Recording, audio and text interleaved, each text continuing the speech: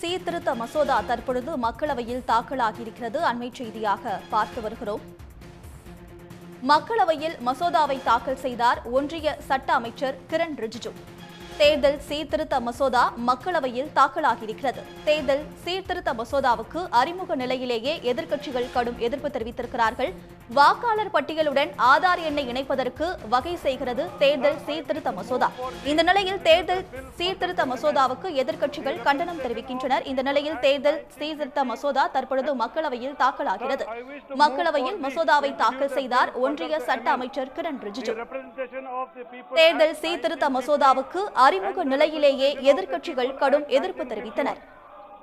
வாக்காளர் பட்டியலுடன் ஆதார் எண்ணை இணைப்பதற்கு வகை செய்கிறது இந்த தேர்தல் சீர்திருத்த மசோதா இந்த நிலையில் தேர்தல் சீர்திருத்த மசோதா தற்பொழுது மக்களவையில் தாக்கலாகிறது लेके आइए चेयरपर्सन सर मैं दरखास्त करता हूँ हाउस ऑर्डर में लेके आइए हाउस ऑर्डर में लेके आइए प्लीज हाउस